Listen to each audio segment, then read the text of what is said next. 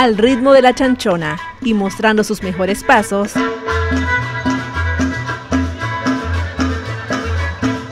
Así disfrutaron los adultos mayores de Santiago de María la celebración en su honor.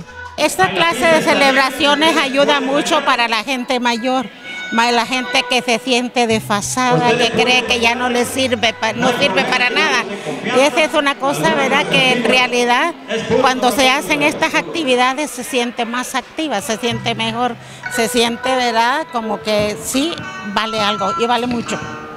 Es un estímulo muy grande, va, el que y un esfuerzo grande de parte de las autoridades de salud, más que todo, ¿verdad? Y más que todo felicitar a, a lo que es la comunidad de Santiago de María por el llamado que han hecho, porque es un esfuerzo grande el que hacen ellos. Ah, yo me siento bien feliz con todo el pueblo y dándole las gracias. Felicidades por todo. Entre sonrisas, música y regalos, no hubo mejor momento que este para disfrutar entre todos. Saber, sabor.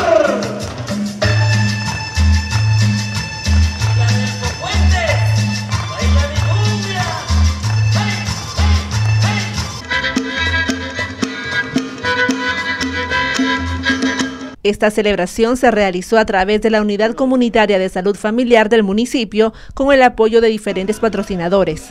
Es muy importante porque gracias a ellos tenemos una chanchona, tenemos muchos regalos, sobre todo los regalos este, nos los pedimos, hacemos las solicitudes a las diferentes tiendas, ¿verdad? a las diferentes oficinas, a las clínicas, hay personas particulares que también nos contribuyen. La directora de la Unidad de Salud mencionó que es importante que en el país existan políticas a favor de los adultos mayores. Es un trabajo bastante fuerte, pero que tiene un objetivo muy importante como son nuestros adultos mayores.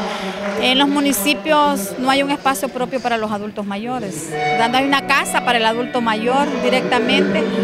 No hay un espacio donde ellos se puedan reunir y hacer diferentes actividades. Yo creo que tanto gobiernos locales como gobierno este, a nivel ¿verdad? nacional eh, deberían de promover estos espacios y estas casas propias para los adultos mayores. Yo digo, cuando un gobierno local lleve una propuesta como esa, creo que entonces vamos a estar en muy buena sintonía. El mes de enero es dedicado al adulto mayor y en diferentes partes del país se desarrollan actividades enfocadas a concienciar a la población sobre el cuidado de este sector.